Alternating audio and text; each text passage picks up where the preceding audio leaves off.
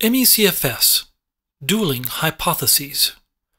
Nobody knows what causes myalgic encephalomyelitis or chronic fatigue syndrome, but hypotheses abound.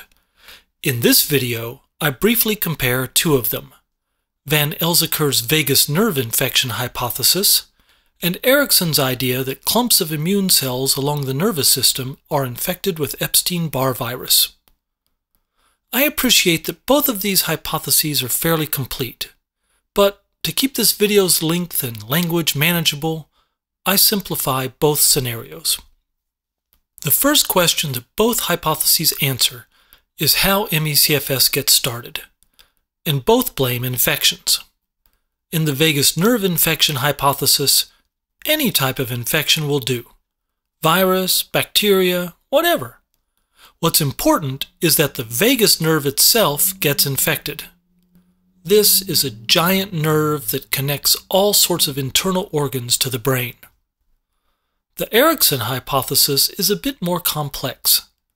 In this scenario, various nerves might be affected, but the pathogen has to be the Epstein Barr virus or possibly HHV6.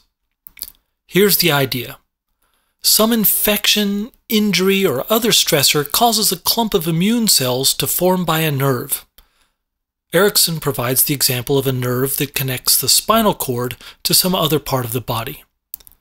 These clumps are ectopic lymphoid aggregates, which is an impressive thing to say at parties. These clumps get infected by the Epstein Barr virus, which triggers inflammation in the area which affects the adjacent nerve, which leads to something called glial activation.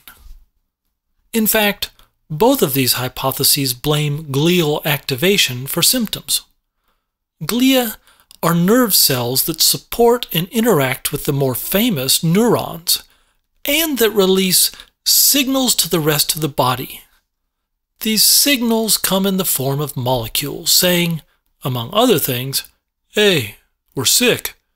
Some of the effects of glial activation will be the same in everybody. And some of the symptoms, whether from glial activation or local inflammation, will differ depending on the location of the infection. Both of these hypotheses explain changes in symptoms via the spread of the infection or via the establishment of a new infection in new locations. That is, in another part of the vagus nerve in the vagus nerve infection hypothesis, or in another clump of immune cells lying by a nerve in Eriksen's hypothesis. These two hypotheses have so much in common that you might expect the authors to suggest the same treatments, but they don't. VanElzakker advocates glial inhibitors, naming ibudilast, minocycline, and others. Glial inhibitors wouldn't end the underlying infection, but would reduce the symptoms. VanElzakker's position on antivirals is mixed since he acknowledges that valganciclovir has helped some people, but also states that antivirals can't get to parts of the vagus nerve that are likely to be infected. In addition to glial inhibitors and antivirals, he discusses vagus nerve stimulation, which appears to be experimental, and vagotomy, which is ridiculously risky.